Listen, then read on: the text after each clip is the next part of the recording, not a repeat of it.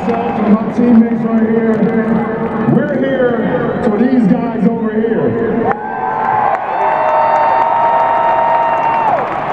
Just like you guys were behind our back through our championship run, we all have to rally together for their championship run tonight.